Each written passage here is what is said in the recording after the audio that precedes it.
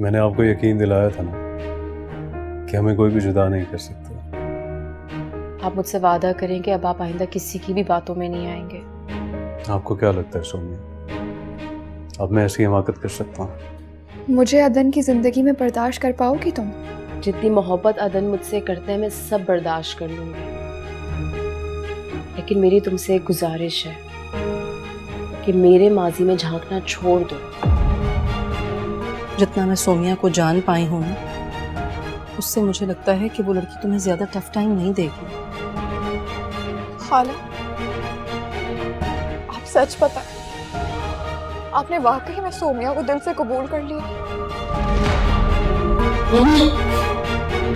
सोमिया सोमिया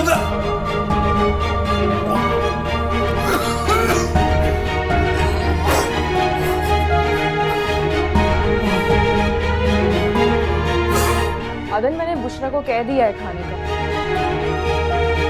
अदन अदन अदन